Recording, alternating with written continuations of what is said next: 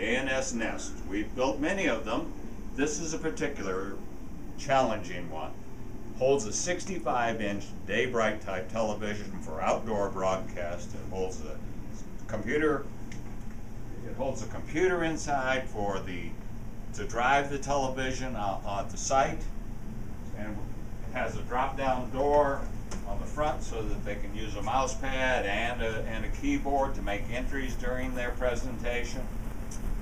The lid, as always with an A&S Nest, comes off and stores comfortably on the back.